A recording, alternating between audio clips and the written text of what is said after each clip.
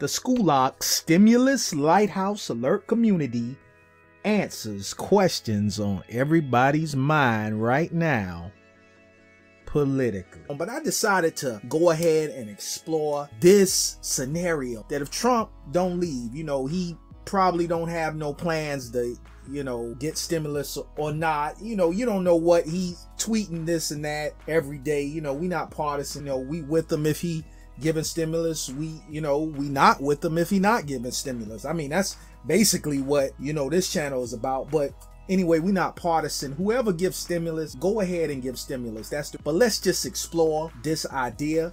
I'm gonna pass it to my homeboy James. James, go ahead and take this away. The SCULAC stimulus lighthouse alert community presents what would take place if Trump won't leave the White House. The United States has actually sustained a long, ugly and contentious presidential election. A divided country, entrenched into two teams, views their political challengers with suspension and ridicule. After a hard fought battle, Joe Biden was anointed by the Associated Press as the declared winner and president elect. There are remaining concerns that the US has actually not seen the end of this presidential drama unfold.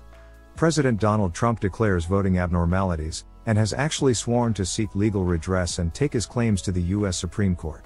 His legal obstacles, to figure out if there have actually been violations of voting laws, might challenge Biden's authenticity as president. Trump happily proclaimed, Our campaign will begin prosecuting our case in court to guarantee election laws are totally promoted and the rightful winner is seated. He added, The American people are entitled to an honest election, that suggests counting all legal ballots, and not counting any prohibited ballots. Considered that over 70 million Americans elected their respective prospects, it's critically crucial to make sure that there's a resolution of any outstanding claims for the sake of the country. The peaceful transition of the baton of governmental power is among America's the majority of cherished traditions. It's a hallmark and structure of our democracy. In recent contemporary history, the US has actually experienced a few contentious races. There were allegations of vote rigging in the 1960 election, however, Richard Nixon yielded to John F. Kennedy, however. In 2000, the governmental race boiled down to evaluating ballots by hand, inspecting hanging chads in Florida to find out who really got most of votes. Al Gore gave in to the Supreme Court's judgment that George W. Bush won the governmental election, although there were remaining concerns if the count was actually precise. The Business Roundtable is an exclusive subscription of upper echelon CEOs from major corporations, who preside over more than 15 million staff members and make more than $7 trillion in yearly incomes. The organization, led by Walmart CEO Doug McMillon, conducted a video conference to talk about the unthinkable what would take place if Trump doesn't leave office by January 20th. The elite CEOs concurred, they're all fine with him taking an attract the court to a judicial procedure. Yale management professor Jeffrey Sonnenfeld, who led the conference said, they didn't want to reject him that. But that doesn't stop the transition. It does not harm anything to let that grind through. There is no indication that any of these would change the result. The roundtable stated that there isn't proof of widespread scams. Nevertheless, that is not exactly what Trump is alleging. He is pointing out there appears to be questions and suspicious activities specifically surrounding particular cities and states that contained essential swing votes. The CEOs did not take any instant actions and demurred making any choices until November 20 when there's a scheduled certification of votes in Georgia. The group talked about possible uncomfortable situations, such as seditious riots at Trump rallies and mass shootings like Trump's ouster of Defense Secretary Mark Esper and other Pentagon authorities. They were stressed over how the country and economy would respond to a recalcitrant Trump, bunkering down in the White House. Sonnenfeld said, they thought it could have a very devastating effect upon markets, on public rely on the procedure. If this were to take place, Sonnenfeld stated they'd take action to ensure that the Republican chosen officials do their jobs and then be patriots and regard the process. There might come a time when CEOs will be forced to utilize their power and impact and cease remaining quiet and take appropriate steps to stop any possible violent interruptions.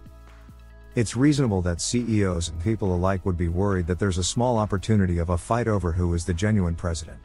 Even the most ardent Trump fans would freely acknowledge that Trump discovers petulant, argumentative, and volatile. He admits this himself in his books, such as The Art of the Deal, as these are service techniques to distract, bully, and benefit from foes. Trump jumped the gun and too soon stated triumph on the night of the election. He then guaranteed to go to the Supreme Court in an effort to halt vote counting. This stirred worries that he may decline the results and snap. Biden's group has a phalanx of legal representatives standing all set for a legal fight. His army of lawyers will wage war with Trump and his allegations of fraud, relative to mail in voting.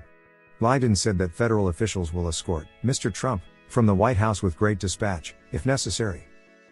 It does not seem that our Constitution has guidelines on what to do if a sitting president won't willingly leave office.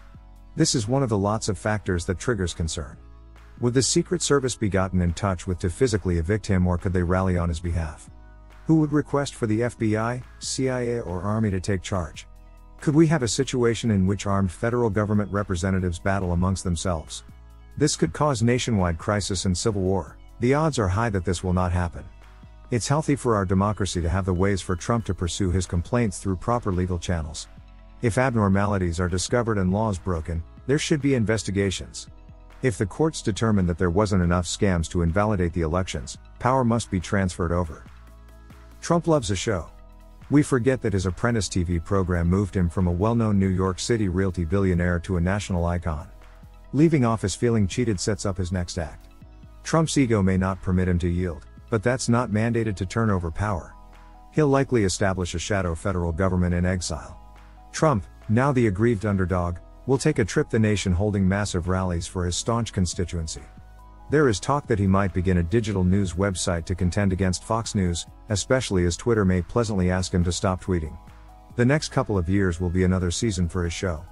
Trump will use his rallies and brand new media online profile to make a remarkable run for the presidency once again in 2024.